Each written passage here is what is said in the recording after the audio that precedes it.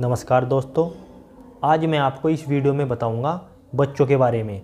बच्चों के बारे में जानकारी दूँगा। अगर आपके घर में एक साल से लेकर पाँच साल की एज के बच्चे हैं और उन्हें बार बार सर्दी, खांसी जुखाम निमोनिया, चेस्ट पेन, डायरिया, सर दर्द, फीवर अगर आपके बच्चों को बार बार होता रहता है, वैसे भी अभी विंटर सीज़न चल रहा है, सर्दियों का मौसम है तो इस मौसम में अक्सर सर्दी हो जाया करती है बच्चों को। अगर आपके बच्चों को ये सभी बीमारी हैं, इनकी आज मैं आपको अंग्रेज़ी यानी कि एलोपैथिक मेडिसिन के बारे में जानकारी दूँगा।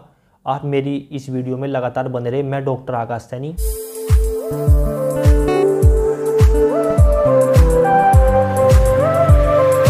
दोस्तों, सभी के घर में छोटे बच्चे होते हैं। अभी विंटर सीज़न चल रहा है, सर्दियों का मौसम चल रहा है। तो इस मौसम में अक्सर कर छोटे बच्चों को सर्दी लग जाया करती है। सर्दी के कारण उनको फीवर जुखाम खांसी, निमोनिया, छाती में पेन, ये सभी समस्याएँ हो जाया करती हैं। और साथ ही साथ दोस्तों, अगर आपके बच्चे को सर्दी लगने की वजह से आपकी बच्चे की छाती में से घट की आवाज़ आती है और उसे कफ यानी कि बलगम भी बना हुआ है।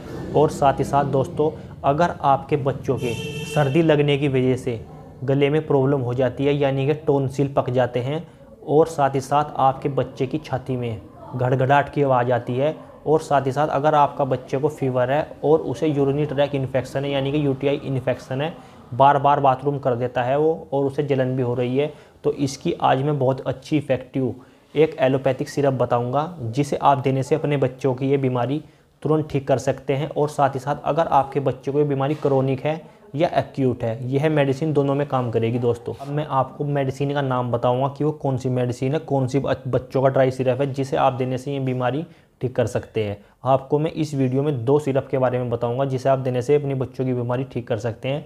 पहली मेडिसिन है, इसमें ये एंटीबायोटिक है, ये अंग्रेज़ी मेडिसिन है। इसका नाम है सिफेक्जिम ओरल सस्पेंसन ये आपको मार्केट में मेडिकल स्टोर पे, किसी भी अंग्रेज़ी मेडिकल स्टोर पे आसानी से मिल जाएगा। इसका नाम है सिफेक्जिम ओरल ड्राई सिरप ये ड्राई सिरप आता है, इसकी मैं आपको पिक्चर भी दिखा दूँगा और ये मैं आपको ओपन करके भी दिखा देता हूँ, ये कैसा दिखता है।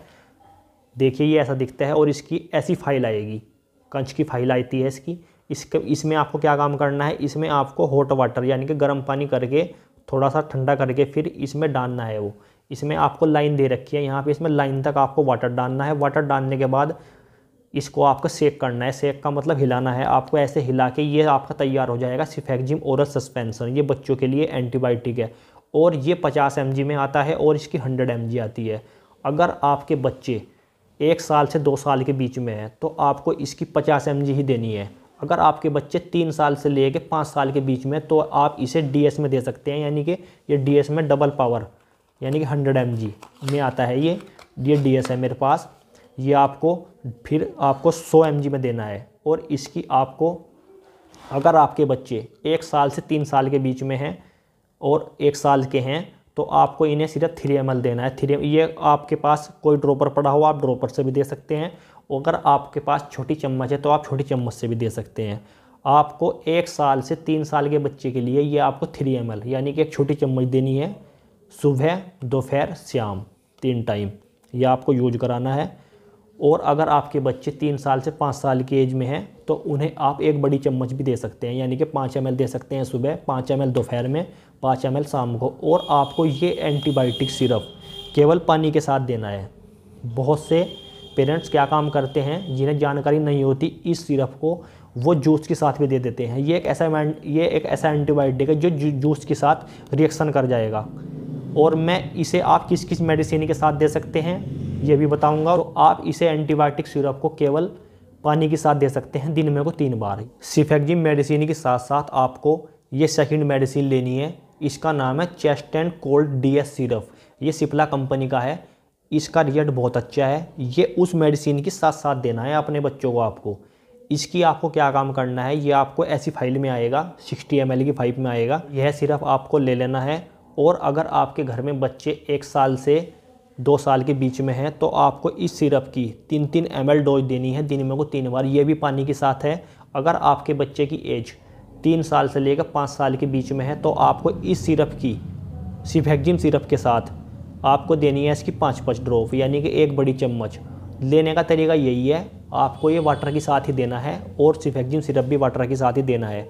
आपको ये दोनों सिरप मेडिकल से ले आने हैं और आपको ये कैसे देने हैं सबसे पहले आपको सिफेक्जिम देना है। सिफेक्जिम सिरप देने के एक चम्मच एक चम्मच देना है उसका और एक चम्मच देने के बाद आपको पानी से फिर ये वाला सिरप देना है। आ, ऐसे ही आपको ये syrup three time a day यानी कि दिन में को तीन बार खाना खाने के बाद यानी कि बच्चों को कुछ भी खिलाने के बाद आप जैसे भी कुछ भी खिलाते हैं, उसे खिलाने के बाद आपको ये अंग्रेज़ी मेडिसिन है, इसे आप खाना खाने के बाद, बच्चों को खिलाने के बाद ही यूज़ कर सकते हैं।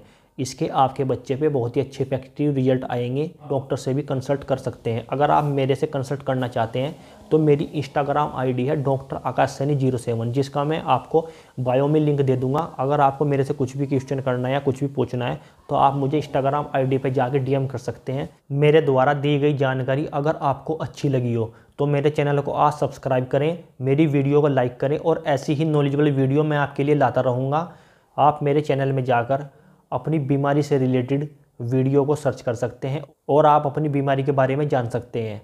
मेरी वीडियो देखने के लिए बहुत बहुत धन्यवाद। Thank you so much